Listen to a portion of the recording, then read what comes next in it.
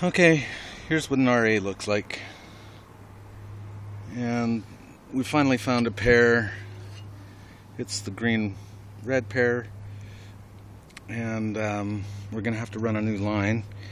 Here I am all strapped in. And checking out the scenery, just waiting for Bob. And uh, we're gonna have to run a new drop up to that hook and then from that hook over that house.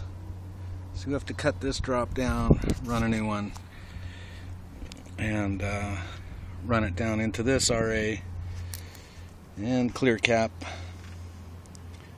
and put a fuse link in here. We've been here like two and a half hours so far. Had three bad pairs just so much dicking around with this old cable. And there's Bob. Bob's way over there.